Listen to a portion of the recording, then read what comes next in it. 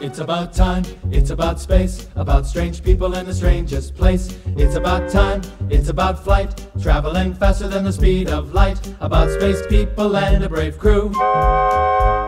As through the barrier of time they flew, past the Roman senators, past an armored knight,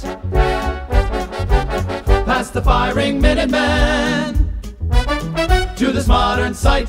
It's about time for you and me to meet these people of amazing feats. It's about two astronauts and how they educate. A prehistoric woman and her prehistoric mate.